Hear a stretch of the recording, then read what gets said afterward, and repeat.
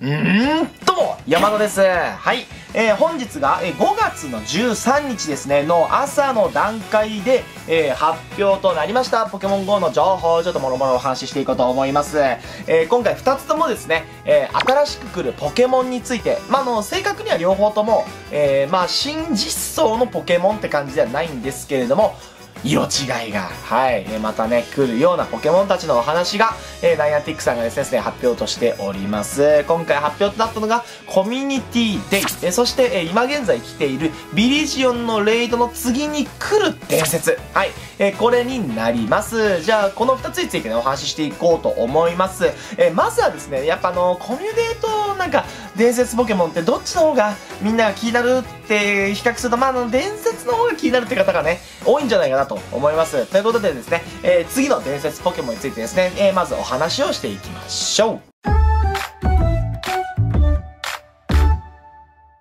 はい。今現在来ているビリジオンのレイドバトル、これが終わった後に来るのがですね、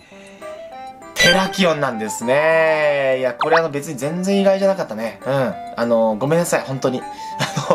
あの、あの、もうそもそもね、コバルモンが来てさ、で、その後にビリジオン来てるんだよね。じゃあテラキオン来るよね。え、そりゃ来るよね。うん。あの、なんなんだろう、この予定調和感。えー、ということですね、こちらのテラキオンなんですけれども、今来てるビリジオンが13日から19日までですね、えー、の、えスケジュール1週間でこちら、行われています。で、これが終わってから、えー、テラキオンがまた1週間で出るよという風になっています。はい。えー、コバルオン、ビリジオン、テラキオンというこの3匹のですね、えー、ポケモンたちの中で言うとですね、あの、攻撃の種族値が普通に高くて、あの、同じような技を打てるんだとしたならば、じゃあもうテラキオンが強くないみたいな、えー、そういう風にね、言われています。えー、テラキオン、まあ普通に強いのでね、厳選した方もね、えー、以前多かったと思います。そんなテラキオンの復刻ということで、まああの、普通にですね、厳選したいっていう人がね、多いと思います。えー、で、今回テラキオンは色違いが実装と。なっています。はい。えー、まあ、今回のね、まあ、このテラキオンだけじゃなくて、コバルオン、ビリジオン、テラキオンっていうこの3匹のポケモンはですね、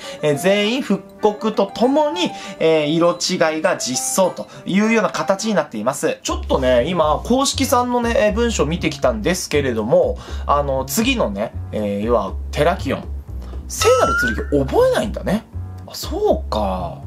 いや、まあ、あの、今回来ているビリジオンですよね。あの、13日からスタートしているビリジオンも聖なる剣を覚えていないんですけれども、今回、なんかちょっと特殊な実装サイクルになってますね。え、コバルオンとテラキオンとビリジオンっていうこの3匹のポケモンはですね、えー、3頭と、え、言われるくくりの、え、まあ、準伝説なんですよね。3頭ってそれぞれが、えー、格闘タイプが入っている、まあ、準伝説ということを言われていて、まあ、あの、あともう一個ね、えここにあの、ケルディオンを入れて、あの、聖剣士という風にくくっている、まあ、ジャンルもあるので、ちょっとね、この3匹ってなんかそのくくりで言うとちょっとめんどくさいんだけど、うん、1匹入ってくると名前変わるんかいっていうね、えそういったポケモンたちなんですけども、あの、こいつらの特徴っていうのは、全員が聖なる剣を覚えますよっていうようなことなんですよ。なんですけれども、えす、でにですね、13日を何回か来ているビリジオン、およびこの20日からね、始まる、えー、テラキオンが、えー、聖なる剣を覚えないんですよ。今、現状だとね、コバルオンしか聖なる剣を覚えないんですよ。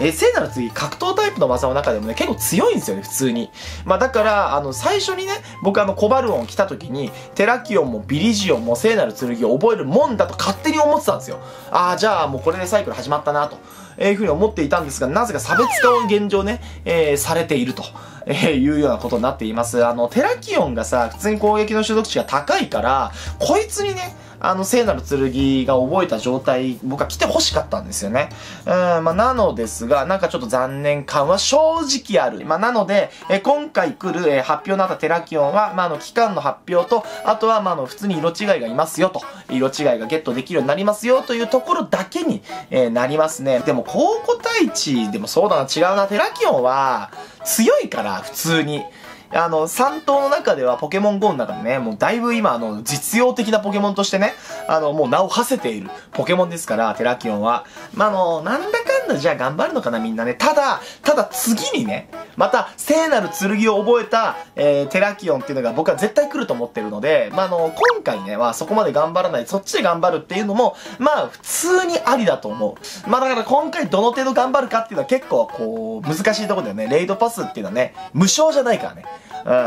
うん。いや、悩ましい。悩ましいですよ。まあまあ、とにかくですね、テラキオンが復刻するので、えー、皆様ですね、えー、しっかりとこの期間は、えー、レイドバトル、えー、やっていけるといいですね。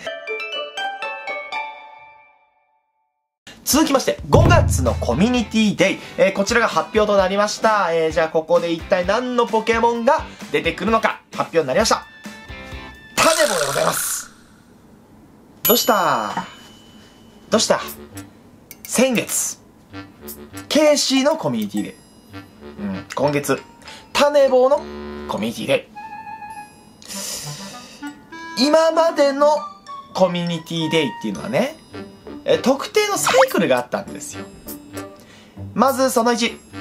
御三家。はい。御三家が、御三家限定技を覚えて、2ヶ月に1回来ていた。で、もう1個は、普段そんなに大量湧きをしない10キロ卵さんとかの、レアで2回進化できるポケモンが今までは、まあ基本的には2ヶ月に1回ということで、このね、御三家と2段進化レアが交互に交互に来るというのがコミュニティデイだったんですね。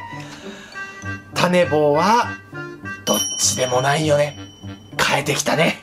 はい。まあまあまあまあまあまあ、ちょっとあの、個人的に思うところっていうのもあるんですが、一旦情報だけね、一回拾っちゃいましょうか。えー、5月のコミュニティデイは種棒が大量発生と。えー、こちら、えー、日程がですね、5月の24日の日曜日。の11時から17時ですね。はい、ということでこちらの動画を撮っている翌週ですね。はい。まあ、1週間ちょっと、まあ、10日間ぐらいかな、えー、の先に、えー、開催されます。で、こちらなんですけれども、えー、種棒が大量発生して、で、特別な技もすでに発表と、なっています。はい、こちら、種マシンガンですね。はい。あもちろんですね、コミュニティデイということで、こちらの種棒が種マシンガンを覚えるのではなく、えー、この期間内ですよね、に、えー、種棒を最終的なダーテングまで進化させた時に、えー、そのダーテングが種マシンガンを覚えてますよという感じになっています。えー、で、あの、ボーナスなんですけれども、お香の効果時間が3時間に持続しています。えー、さらに、えー、ポケモン捕獲時の経験値。はい。こちらが3倍となっています。ます。なので、こちらですね、11時か17時、えー、この間はですね、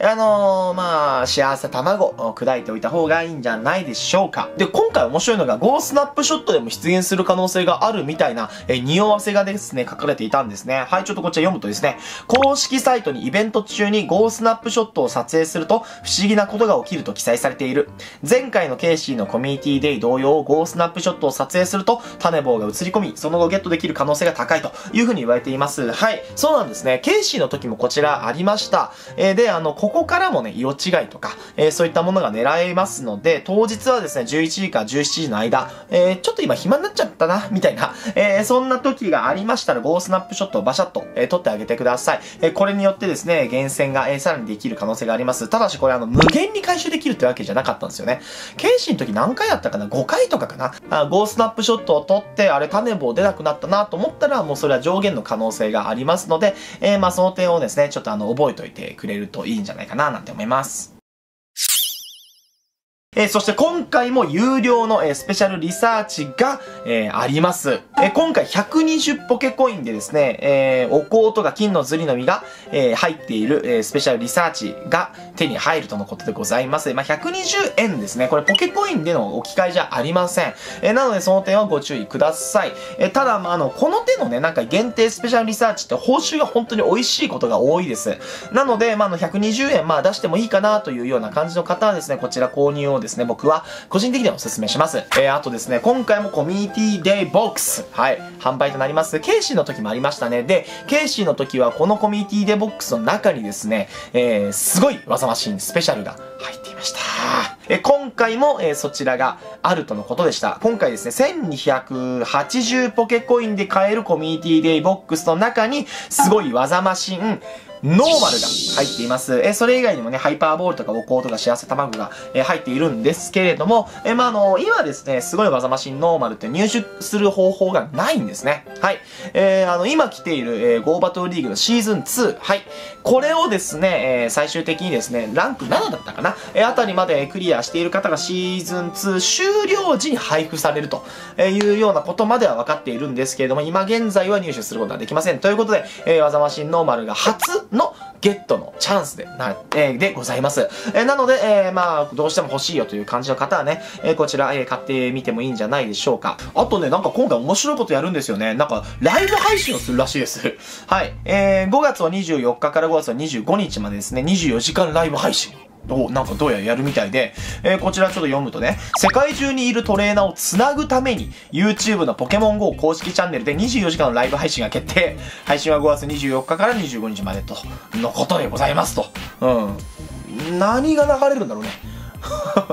どういった内容の動画が流れるのでしょうかはい、乞うご期待みたいな感じですかね。はい。そして今回のボーナスなんですけれども、相棒がですね、ボールを拾ってきてくれるとのことでした。まあこれ、ケイシーの時もありましたね。あの、相棒ポケモンが、定期的なね、その時間ごとにですね、えー、なんかこの、ピロンと、えー、なんか、あれ、なんか相棒がなんか、なんか反応してるぞっていうのをピッとタップすると、ボールがポポポって入ってくるっていうのがね、ありました。えー、これがですね、今回もあるみたいです。えー、グレートの相棒以上のポケモン相棒にしていると、相棒がモンスターボールなどのアイテムを持ってきてくれる前回のケイシーのコミュニティデイでは、えー、約30分ごとでモンスターボールを複数手に入れることができたとあいう風に言われています。はい、こちら注意点がありますね。まず一つ目は、えー、グレートな相棒ですね。以上じゃないとこちら効果が反映されません。あとですね、これ相棒ポケモンが、あの、まあ、アイテム持ってきてくれるんですけど、あの、普段ね、普段の相棒ポケモンが、中のアイテムをさ、こう包んでくれるやつあるじゃないですか。包んで持ってきてくれるじゃん。あれと、あとそのさらにお土産みたいな感じで使えないけれどもなんか拾ってきたアイテムっていうのが包まれているね、あの緑色の包みありあるじゃないですか。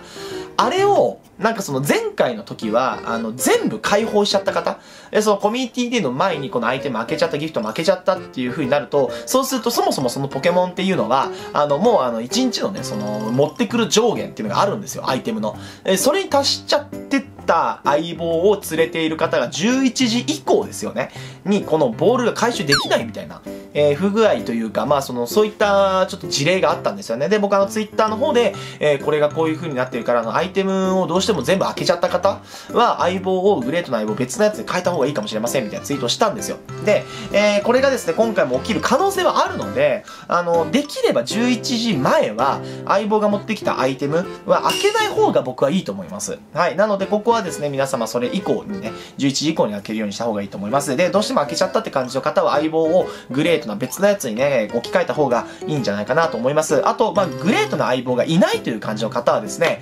えー、今日から用意してください。はい、今日から準備してください。毎日あの、相棒に餌をあげてください。はい。あの、そしたら、まあまあまあまあ、あの、グレートは2段回目なんで、あの、一応1週間あればなんとかなると思います。はい。ちょっとあの、正確な今、計算をしてるわけではないんですけども、まあ、期間があるのでね、前回なかったんだよ。だから言われたけど今から準備きつくないみたいな感じだったんですけども、今回は猶予があるので、今のうちに皆様、えー、ご準備を。えー、していただけたらいいのかななんて思います。で、あのー、まあ、今回ね、また発表内容の中に書かれていなかったんですけども、おそらく種棒の色違いがここで実装となると思います。まあ、あの、コミュニティでは、ね、基本的にも色違いそこでボーンと入れてくるっていうね、えー、色違いズドーン新技ドーンみたいな感じの、えー、そういったイベントなので、えー、まあ、あの、今回もね、えー、来るんじゃないかなと思います。ということで、種棒の色違い目指してね、えー、24日僕も頑張ろうと思います。で、あの、今回の種棒さんね、の最終進化であるダーテング、なんかあの、あれなんですよね、ゴーバトルリーグとかでもね、結構見るんですよね。えー、ということで、まあ、あの、そちらの方で PVP とかで、